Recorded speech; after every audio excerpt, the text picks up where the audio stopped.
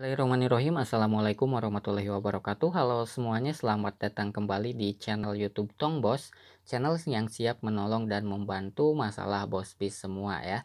Dan dalam video kali ini Otong bakal ngasih tahu bos bis bagaimana cara mengisi alamat di Lajada Nah, namun sebelum itu, bagi bos bis yang pengen beli baju gamis anak ataupun koko anak itu bisa di Lazada juga ya, cari aja nama tokonya Baju Yuli itu bagus-bagus dan bisa juga bos bis mengunjungi websitenya bajuyuli.com.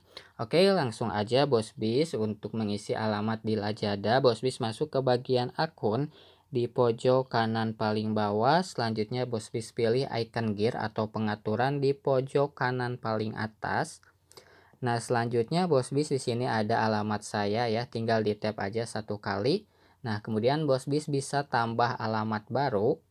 Kemudian di sini bos bis bisa ketikkan e, jalan, area, kota atau kode pos ya seperti ini tinggal ketik aja atau juga bisa menggunakan GPS gunakan lokasi sekarang maka secara otomatis aplikasi Lazada akan mendeteksi keberadaan bos bis berada ya. Nah, kalau udah sesuai tinggal lokasi dikonfirmasi aja di tab ya.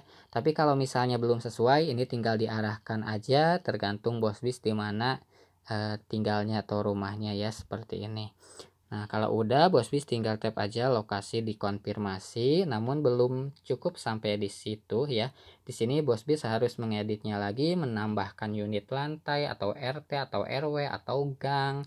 Nah, kemudian nomor telepon, nama penerima dan lain sebagainya ya. Ini tinggal diisi uh, aja oleh bos bis. Dan kalau udah tinggal simpan aja ya. Maka nanti bakalan muncul di bagian ini seperti ini.